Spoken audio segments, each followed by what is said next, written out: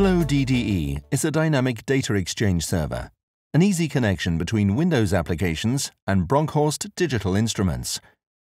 DDE provides a basic level of inter-process communication between Windows applications. By using DDE commands sent by software to Flow DDE, data can be sent to or requested from digital instruments.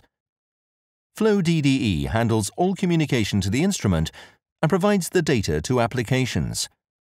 Several Bronkhorst applications require Flow DDE for communication to the instrument, for example, FlowView and FlowPlot. The installation file can be found on the CD-ROM which is delivered with the instruments, or can be downloaded from our website, bronkhorst.com.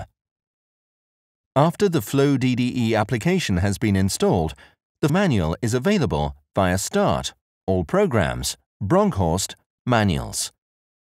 The RS-232 interface on a digital instrument can be connected to any RS-232 serial computer port.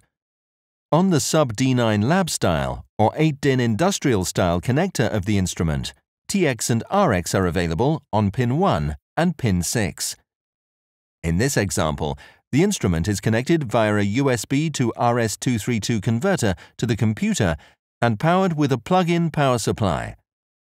This power supply is not required if the instrument is already powered via an optional field bus connection, such as Flowbus, Modbus, or DeviceNet. During installation, two Flow DDE servers will be installed, Flow DDE and Flow DDE Second.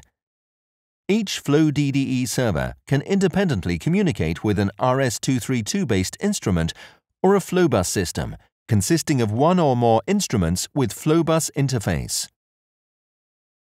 Before communication to the instrument can be made, the communication settings have to be correctly configured. Open the communication settings from the menu. Communication, Communication Settings. In this window, the COM port and the baud rate can be selected. For most interfaces, the default baud rate is 38400. Once the communication settings have been configured correctly, the communication to the instrument can be started and instrument values can be used by client applications. From the menu, click Communication, Open Communication.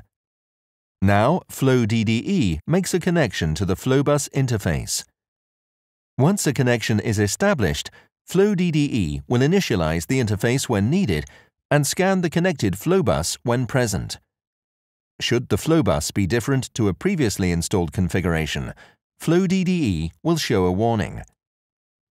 Channel numbers are assigned to all connected instruments, and for each channel, the applicable parameter DDE items are created.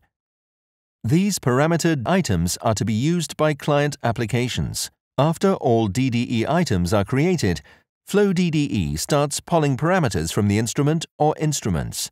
The values of these parameters are updated after each poll, so clients don't need to actively refresh these before using. From here on, Flow DDE is ready for any client. The Flow DDE window can be minimized. The DDE server remains active until the communication is closed. When communication is opened and Flow DDE has scanned the Flowbus system, the Flowbus configuration can be viewed. Flowbus Configuration. On the left-hand side, all instruments connected to the Flowbus are shown, ordered by their assigned channel. By clicking on a channel, the LED wink mode on the selected instrument will be activated. Communication to the instrument can be stopped via the menu. Communication, Close Communication. Polling is stopped. All DDE items are terminated and clients can no longer set or get parameter values.